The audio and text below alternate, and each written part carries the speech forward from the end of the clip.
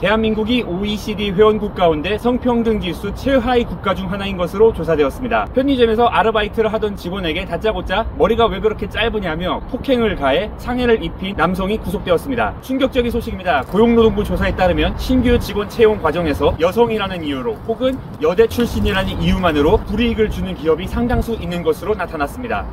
나를 향해 쏟아지는 시선을 모두 모아